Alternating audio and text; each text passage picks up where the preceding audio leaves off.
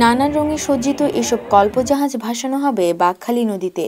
বাঁশ, বেত, রঙিন কাগজ দিয়ে অপরূপ কারুকার্যে সজ্জিত বিভিন্ন প্রাণীর আদলে বানানো এক একটি জাহাজে ফুটিয়ে তোলা হয়েছে বৌদ্ধ মন্দিরের প্রতিকৃতি, যা দেখতে হাজার হাজার মানুষ সমবেত হবে রামর বাকখালী নদীর পাড়ে। জাহাজ ভাষা উৎসব উপলক্ষে মন্দিরে মন্দিরে চলছে শেষ মুহূর্তের প্রস্তুতি।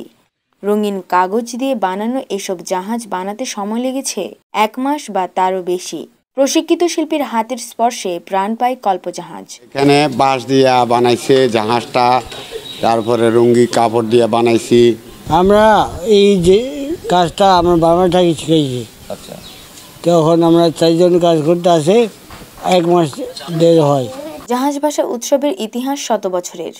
প্রাচীন বৌদ্ধ ধর্মীয় রীতিমতে একদা প্রাচীন ভারতীয় শহর বৈশালীতে মানুষের অভাব, অনাবৃষ্টি, ফসলহানি, রোগশোক হয়েছিল। সে সময় বৈশালীবাসী বোধন করেছিলেন মহামতি বুদ্ধের। ভক্তের উদারে গৌতম বুদ্ধ সাড়া দেন। তারপর তারা রাজগৃহে ফেরে। সেই থেকে বুদ্ধের সম্মানে ফলে ফসলে কল্পজাহাজের হৃদয়ের ব্রহ্মাকে ভাসিয়ে দেন বুদ্ধের ভক্তরা।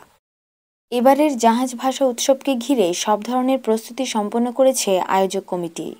সোমবার বিকেলে বাঘখালী নদীতে ভাসানো হবে নয়টি কল্পজাহাজ। প্রতি বছরের ধারাবাহিকতায় এবারও দশই অক্টোবর রোজ সোমবার রামুরতে কল্প জাহাজ বাসা উৎসব হতে যাচ্ছে।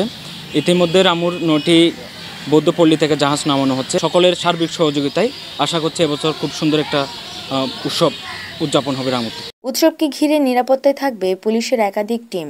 যে কোনো ধরনের পরিস্থিতি মোকাবেলায় পুলিশ বাড়তি সতর্ক অবস্থায় থাকবে বলে জানান পুলিশের এই কর্মকর্তা।